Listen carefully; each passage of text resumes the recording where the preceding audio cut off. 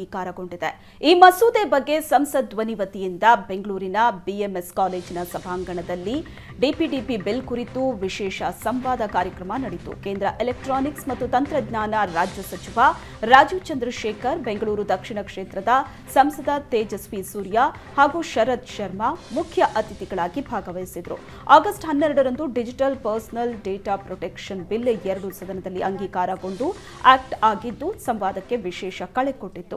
ಖಾಸಗಿ ಕಂಪನಿಗಳು ಜನರ ವೈಯಕ್ತಿಕ ದತ್ತಾಂಶಗಳನ್ನು ದುರ್ಬಳಕೆ ಮಾಡದಂತೆ ತಡೆಯುವ ವಿಧೇಯಕ ಇದಾಗಿದ್ದು ಮುಂದಿನ ದಿನಗಳಲ್ಲಿ ಪ್ರತಿಯೊಬ್ಬ ವ್ಯಕ್ತಿಯ ಗೌಪ್ಯತೆ ಕಾಪಾಡೋ ನಿಟ್ಟಿನಲ್ಲಿ ಈ ಬಿಲ್ ಕೆಲಸ ಮಾಡಲಿದೆ ಅಂತ ಕೇಂದ್ರ ಸಚಿವ ರಾಜೀವ್ ಚಂದ್ರಶೇಖರ್ ತಿಳಿಸಿದರು.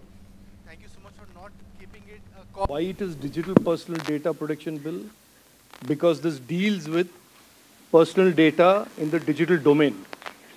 And for most of of us, or at least most of the world today, that is the area that is of most concern. Now, if somebody has a register and is writing something in the register, and from that register takes some personal data, that is a bit of an outlier issue that this bill certainly makes no attempt at uh, addressing.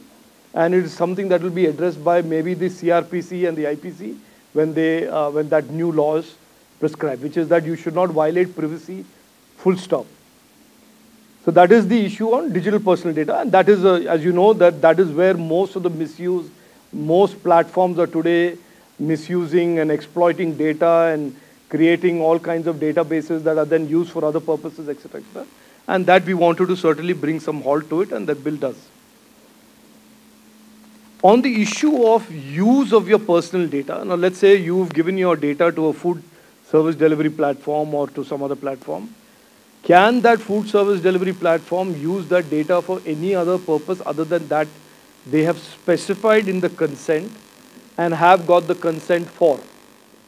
Narendra Modi ನೇತೃತ್ವದ ಕೇಂದ್ರ ಸರ್ಕಾರ ಎರಡು ದಿನಗಳ ಹಿಂದೆ digital data protection ಬಿಲ್ಲನ್ನು ಸಂಸತ್ತಿನಲ್ಲಿ ಅನುಮೋದನೆ ಮಾಡಿದೆ ಇದರ ಮುಖಾಂತರ ದೇಶದ ನೂರ ನಲವತ್ತು ಕೋಟಿ ನಾಗರಿಕರು ಯಾರ್ಯಾರು ಮೊಬೈಲ್ ಫೋನ್ ಯೂಸ್ ಮಾಡ್ತಾರೋ, ಇಂಟರ್ನೆಟ್ ಯೂಸ್ ಮಾಡ್ತಾರೋ, ಫೇಸ್ಬುಕ್ಕು, ವಾಟ್ಸ್ಯಾಪು, ಗೂಗಲ್ನಂಥ ಇಂಟರ್ನೆಟ್ ಪ್ಲ್ಯಾಟ್ಫಾರ್ಮ್ಗಳನ್ನು ಬಳಸ್ತಾರೋ, ಈ ರೀತಿಯ ಕೋಟ್ಯಾಂತರ ಭಾರತೀಯರ ಡಿಜಿಟಲ್ ಹಕ್ಕುಗಳನ್ನು ಸಂರಕ್ಷಣೆ ಮಾಡುವಂಥ ಬಹಳ ಮಹತ್ತರ ಹೆಜ್ಜೆಯನ್ನು ಈ ಕಾನೂನು ಇಟ್ಟಿದೆ. ನಾಗರಿಕರಿಗೆ ಅವರ ಡೇಟಾ ಅವರ ವ್ಯಕ್ತಿಗತವಾಗಿರುವಂಥ ಇನ್ಫಾರ್ಮೇಷನ್ನು ಯಾವ ರೀತಿ ಕಂಪ್ನಿಗಳು ಬಳಸ್ಕೊಳ್ಬೇಕು ಯಾವ ರೀತಿ ಬಳಸ್ಕೊಳ್ಬಾರ್ದು ಅವರ ವ್ಯಕ್ತಿಗತ